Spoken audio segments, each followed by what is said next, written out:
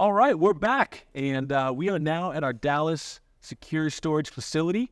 And uh, thanks for joining me here, Jared. Um, so, essentially, uh, first thing is, can you visit this facility if you're a customer that, that is storing IRA metals here?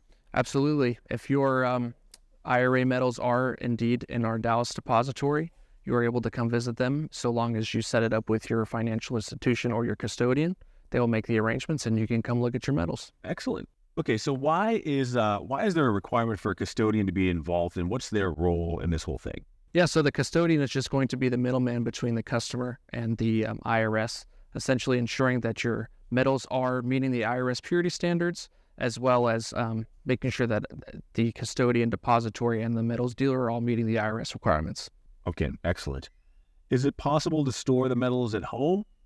No, currently all the accounts that we set up here at JM Bullion uh, we require that there be a third party depository that is IRS approved to store your precious metals. Okay, great. Can you speak a bit on the frequency of making deposits or purchases? Is there a limit to how many times I can add to it? Anything along those lines? Sure. As far as contributions for precious metals to your self directed IRA, you would just consult your tax expert based on your income and age to how much you can put in every year. What about uh, selling the metals back to JM Bullion? Is that possible? How would that work? Yeah, it's a great question. So our depository is located right next door to our sell to us facility. So all you would do is call up our sell to us department. We'll quote you a price for the metals at that time. And once we verify for purity and weight, we will put the tax deferred cash back into your self directed IRA in a cash position. Okay, excellent. Can you kind of give us an overview of the charges associated with setting up an account like this and you know what we need to know about? Sure. So with the initial setup, usually we're talking about in the range of $300 that it covers the account setup fee, uh, fee to get the money transferred from your current custodian to the self-directed IRA custodian.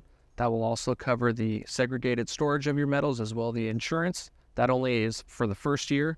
Every year after that, it drops down to about the $250, $260 range. Okay, excellent. So what about the tax implications once you sell? How, how does that play out?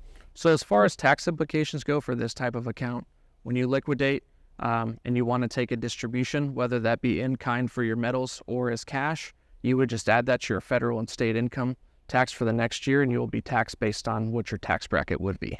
Okay, excellent. What about if I have some old metal at home or something like that that I would like to add? Is that an option for me to do that? Unfortunately, no. Um, we are concerned about purity standards and meeting the IRS requirements to make sure that there's no issues with the self directed IRA accounts. So you would only be able to purchase what is brand new from a trusted uh, gold, silver, precious metals dealer like us. Excellent. Well, thank you so much, Jared, for all Of course. That. Definitely appreciate that. And uh, if you're interested in learning more about IRAs or initiating one, speaking with uh, Jared or someone on his team, give us a call at 1 800 276 6508, or you can reach us via email at ira at jmbullion.com. Thank you so much.